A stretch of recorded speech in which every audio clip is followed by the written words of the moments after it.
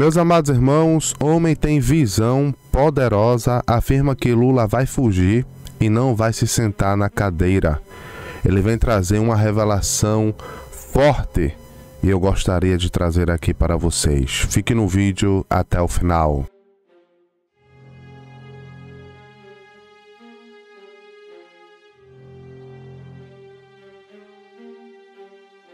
Olá, meus amados irmãos, tudo bem com vocês? Eu me chamo Saula Taide. Seja bem-vindo mais uma vez ao meu canal.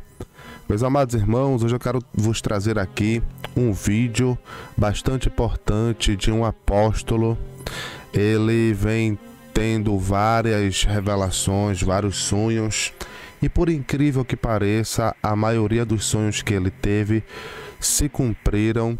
Por isso que ele ganhou relevância comigo aqui no canal, mas se porventura alguma das revelações dele não se cumprir, eu vou ser o primeiro a chegar aqui e afirmar que foi da carne, afirmar a vocês que não foi da parte de Deus. Eu vou ser o primeiro, pode ter certeza disso.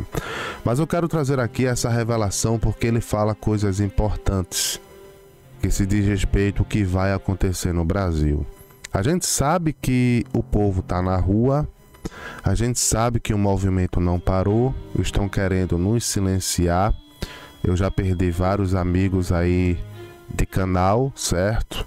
Já que eu perdi, eu estou sendo prudente, eu fiz um novo canal, o canal secundário o link dele está na descrição do vídeo e nos comentários. E peço por gentileza que vocês se inscrevam no meu canal secundário. Não paga nada, você não vai pagar nada, só vai dar alguns cliques ali para se inscrever e ativar notificação para você começar a assistir as publicações que eu postar por lá. Isso é um motivo de segurança, porque eu não sei há quanto tempo o nosso canal vai estar no ar. Então você que ama o Ministério Jesus Cristo Força Alfa, vai lá nesse canal secundário, o link está na descrição, já postei dois vídeos. Vai lá, assiste, dá teu like para ajudar o canal para engajar os vídeos, tá ok? E por causa disso a gente está sendo é, é, penalizado e está sendo perseguido, né? Da, aqui já fica o meu protesto, certo? Entre códigos, mas fica porque até o nosso direito de se manifestar, de deixar a nossa opinião, o nosso direito de expressão cessou-se, acabou-se. Né? A gente sabe o que está acontecendo no Brasil. Mas eu vou trazer aqui essa revelação porque Deus ele continua trabalhando. E esse homem, esse apóstolo, certo? Ele ganhou muito a relevância no meu canal porque muitas das revelações que ele teve já se cumpriu. Por isso que eu vou trazer esse vídeo aqui para você, mas quero reafirmar, se porventura não acontecer, eu vou ser o primeiro aqui chegar e afirmar que foi da carne, certo? Porque para uma pessoa é, se expor trazendo uma revelação, ela vai ter que estar tá sujeita a elogios e a crítica, certo? Se for para elogio, vai ser elogio. Se for para crítica, vai ser para crítica. Eu quero deixar isso bem claro. Mas eu quero trazer aqui a fim de que você fique sabendo dessa profecia. Agora, Antes de fazer isso, vocês que já conhecem esse canal, já deixa o seu like.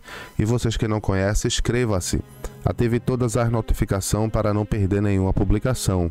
No meu canal trago aqui notícias apocalípticas, estudos escatológicos, pregações, testemunhos.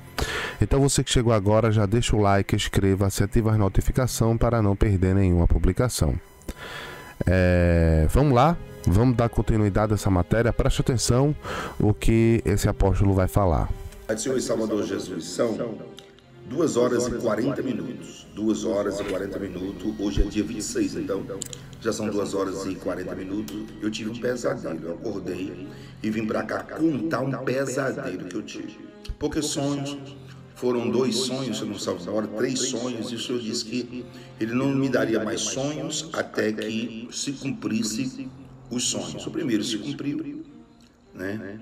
Tem um que está se cumprindo e o outro que vai se cumprir literalmente quando o sonho último que sonho que eu tive foi que o Lula não iria assumir a presidência da República. Não vai, não adianta, olha, não adianta, não adianta, não vai. Eu acredito que quando Deus fala comigo, foi um sonho, foi um sonho. Mas nunca eu sonho para que não aconteça. Alguém pode dizer, esse vai ser o primeiro. Então vamos ver se esse vai ser o primeiro. E o sonho que eu tive por último, eu vi que não assumia a presidência da República. Foi um sonho. Bem, a gente sonha tanta coisa e isso pode ser mais um sonho. Mas eu acredito que todas as vezes que Deus me dá sonho, não é só sonho, não é um sonho normal. Acontece. Se Deus me deu 30 sonhos, eu não sou, eu, eu também não sou fácil sonhar. Mas nos dois meses eu sonhei três sonhos. O primeiro aconteceu na íntegra e foi acontecendo. O último é que Lula não assumia a presidência da República e ele não vai assumir. Não adianta fazer uma mídia, não adianta dizer que vocês não podem estar na frente de quartéis ou etc. Não adianta, não adianta. O gigante acordou. A Bíblia fala sobre o gigante. E quando o gigante é adormecido, aí tribucham sobre toda a nação. Mas quando o Senhor levanta e acorda o gigante, acabou. E eu vou dizer para você, você tem certeza? Tenho certeza. Tenho certeza como o primeiro sonho foi Deus puro na terra, que eu quero dizer uma coisa para você. Deixa eu tomar aqui um pouco nesse leite. Eu tive um pesadelo. Tive um pesadelo, um pesadelo gigante. Quer saber qual foi o pesadelo? Porque eu tive um pesadelo. Eu tive um pesadelo. Foi pesadelo. Eu acordei atormentadíssimo. São duas horas e 40 minutos, duas e 40, 41 minutos. E o pesadelo que eu tive foi esse. Foi pesadelo. Eu vi todas as ruas, né, as grandes avenidas de capitais da Federação Brasileira lotadas de soldados. Era como se fosse uma guerra. Eu digo, Jesus, nós estamos em guerra, o que é isso, pelo amor de Deus? Porque nós pregamos paz. Eu prego paz, eu prego que o direito de todo mundo deve ser respeitado sabe? Independentemente de sua crença ou religião, ou sua, ou sua escolha por seu candidato, deve ser respeitado. Deve ser respeitado. Só que esse pesadelo que eu tive, eu tive soldado, soldado, soldado, soldado, fuzileiros navais, sabe? Guerreiro mesmo, vestido de soldado, de, era por todos os lados, por todos os lados. Eu vou contar bem explicitamente aqui, só para terminar era soldado do Exército Marinha Aeronáutica. Eu vi também polícias né, Polícia de Estado da Federação Brasileira se ajuntando com esses homens. E eu digo, meu Deus, eu estou na guerra. Tentei me acordar, mas não consegui. Você sabe quando você tem um sonho que você está caindo, que você acorda atormentado? Pois é, meu, eu tentava acordar desse pesadelo. Foi um pesadelo. Isso foi um pesadelo. Né? Foi um pesadelo. Não sei se alguém vai classificar como sonho, mas foi um negócio tão doido que eu acordei completamente, sabe, assustadíssimo.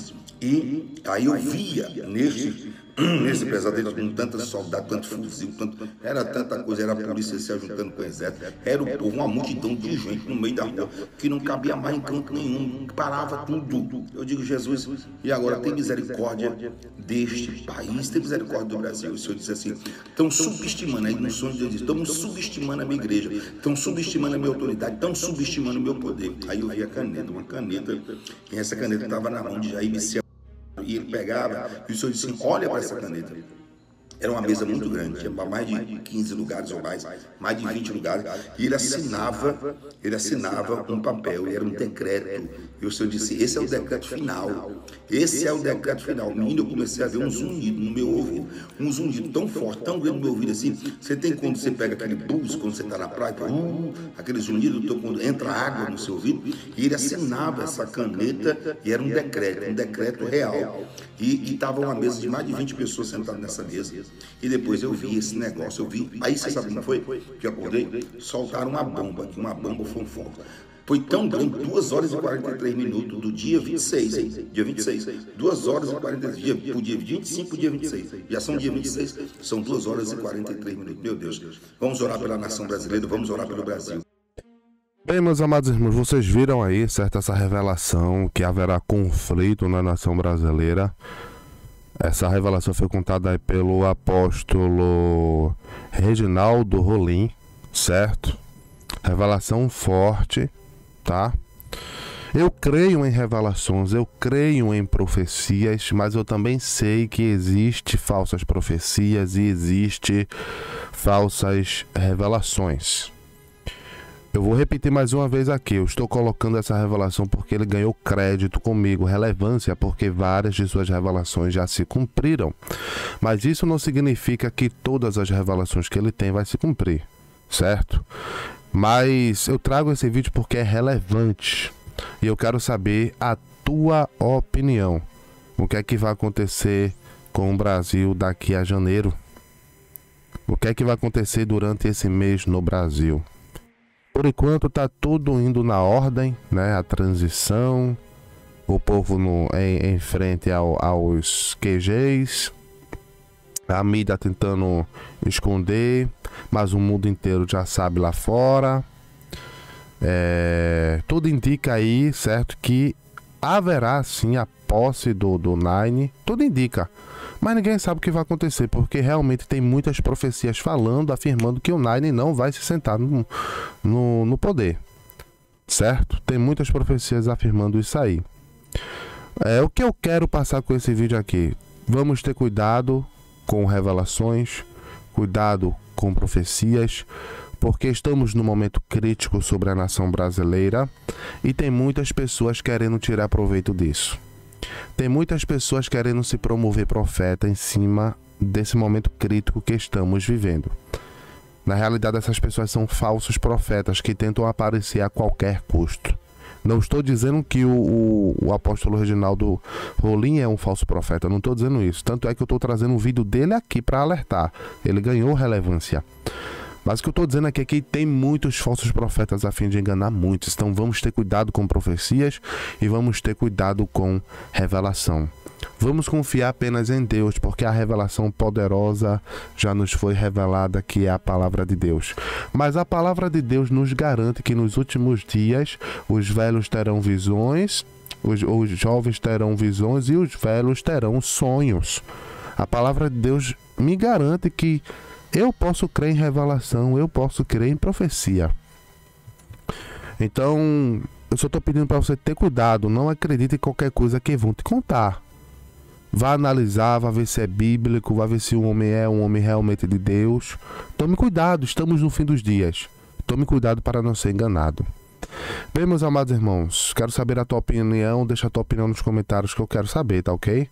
E quero dizer aqui que Jesus está voltando. Essa é a revelação poderosa e verdadeira. Jesus está voltando. Bem, esse foi o vídeo de hoje. Se você gostou do vídeo, dê o um like, inscreva-se no canal, ative todas as notificações para não perder nenhuma publicação. Eu vou lá, fiquem com Deus.